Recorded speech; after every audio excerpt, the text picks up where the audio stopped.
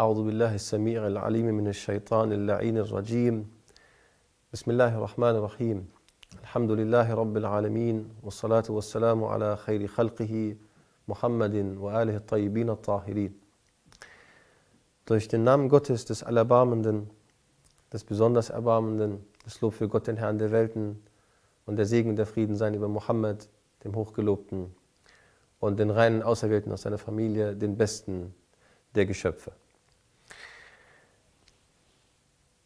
In den vergangenen zwei Lektionen haben wir uns ein besseres Verständnis von der Gerechtigkeit Gottes verschafft. Wir wollen diesen Vorgang fortsetzen und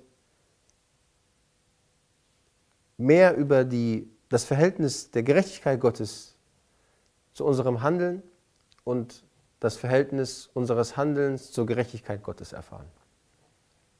Und nicht nur unseres Handelns, sondern insbesondere auch unseres Vermögens und unserer Willenskraft und, unserer, und der uns von Gott verliehenen Kraft, unseren Willen umzusetzen.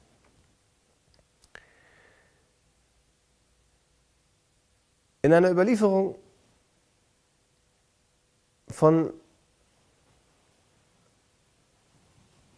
Imam Ali ibn Musa Arda heißt es, dass er sagte zu einem seiner Gefährten, O Abul Hassan, äh, dass einer seiner Gefährten zu ihm sagte, O Abul Hassan, ist die Schöpfung gezwungen? فقال يا أبا الحسن الخلق مجبورون ist die Schöpfung gezwungen, genötigt? Da sagte er, فقال الله أعدل من أن يجبر خلقه ثم يعذبهم.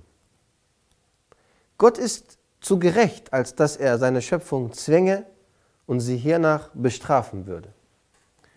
Zu gerecht, beziehungsweise der arabische Wortlaut bedient sich des Elativs. Wir haben also mit einer Elativierung zu tun. Gott ist in diesem Sinne des arabischen Wortlautes gerechter, viel zu gerecht, als dass er seine Diener zu etwas zwänge, wofür er sie im Anschluss daran bestraft. قال فمطلقون er sagte, ist sie verlassen, die Schöpfung? Sozusagen aus der Macht Gottes entlassen? Er sagte, Gott ist zu weise, als dass er seinen Dienern, seine Diener vernachlässigen und sie sich selbst überlassen würde. Allahu ahkamu min an yuhmila abdahu wa yakilhu ila nafsihi. Gott ist viel zu weise. Und Gott ist weiser, als dass er seinen Diener vernachlässigen und in sich selbst überlassen würde. Diese Überlieferung negiert und verneint zwei Extreme. Zum einen das fatalistische Extrem des Zwangs und der Nötigung. Es gibt keinen Zwang, la jabra, wala tafwid und keine Übertragung. Gott ist aber auch nicht weniger mächtig, weshalb er seine Macht nicht überschreiben muss, nicht abgeben muss. Gott gibt seine Macht, seine Stärke, seinen Einfluss nicht ab, dadurch, dass er anderen Macht verleiht. Dadurch, dass Gott anderen Macht verleiht, Stärke oder Vermögen gibt, verliert Gott von seinem Vermögen überhaupt nichts. Im Gegenteil, die anderen sind es, die ihr Vermögen nur dadurch besitzen, dass Gott es ihnen verleiht. Sie besitzen es durch Gott, während Gott es ohne sie besitzt. Und derjenige ist und bleibt, der es in ihr Vermögen gelegt hat. Imam Jafar al-Sadiq formuliert diesen Umstand wie folgt. إن الله أكرم من أن يكلف الناس ما لا يطيقون. Gott ist zu gütig, als dass er vom Menschen verlangte, wozu dieser nicht imstande wäre. Wallahu az min an yakuna fi sultanihi ma la yurid. Und Gott ist zu glorreich, als dass unter seiner Gewalt etwas geschehe, was er nicht wollte. Was er nicht wollte, hier im Sinne von dem bedeutet, was er nicht zuließe. Viele haben mit dieser koranischen äh, äh, Formulierung, hat sich im Laufe der Zeit, äh, im Laufe vieler Unterrichte auch gezeigt, eine gewisse Schwierigkeit für ihr deutsches Sprachverständnis, wenn es im Koran immer wieder heißt, Sha'a, Sha'a, Faman Sha'a, In Sha'a, also wenn er will, wenn er will, äh, also wenn er will, wenn er mag. Wobei der Wille, das, das Wollen, das Mögen und das, Verla das äh, Hervorbringen Gottes im himmlisch, also im, im koranischen Sinne äh, identisch sind, gleichbedeutend sind.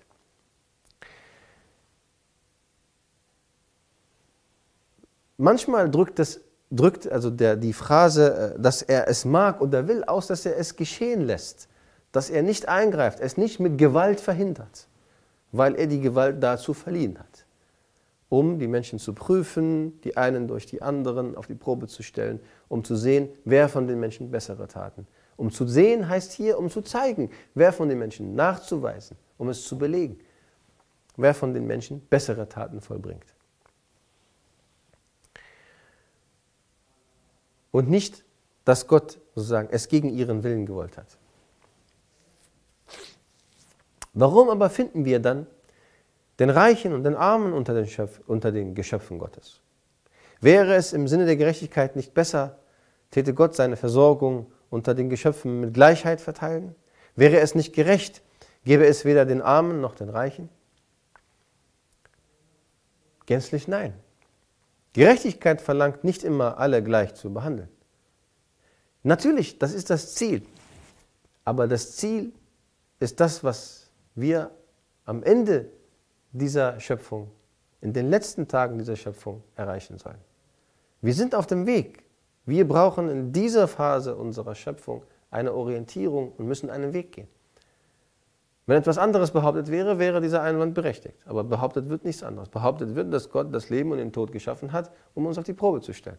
Würde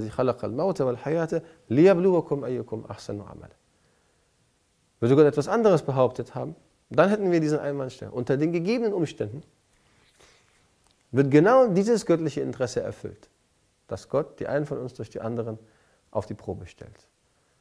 Ja, das gefällt mir nicht immer. Das gefällt dir nicht immer, das gefällt uns nicht immer. Das gefällt uns nie. Aber wer sagt, dass es nach unserem Gefallen gehen soll?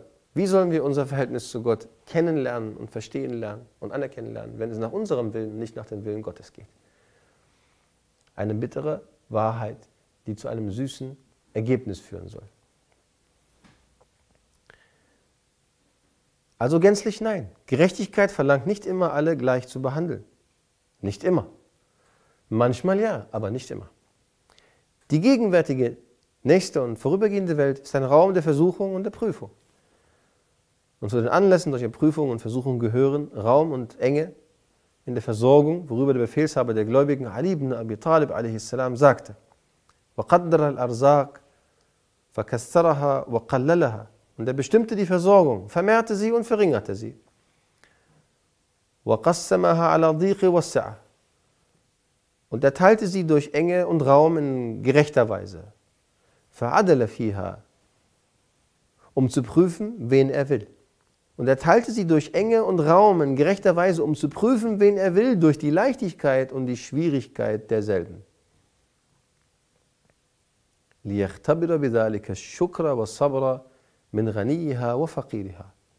Warum?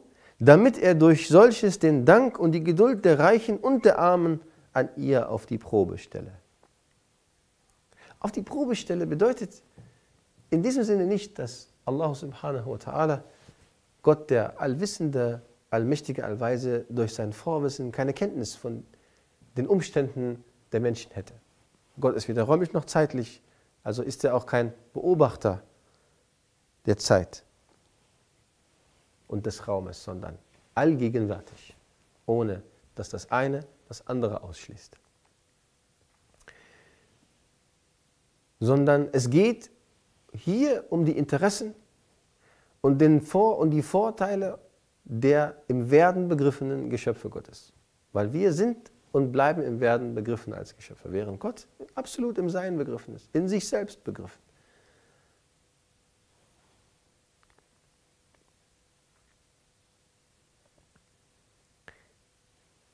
Deshalb wird es im Handeln Gottes keine Ungerechtigkeit geben, so wie es im Urteil Gott es keine Ungerechtigkeit gibt. Deshalb sind Vermögen, Fähigkeit, Verlangen Gottes nur in gerechter Form, in angemessener, maßvoller Form wiederzufinden.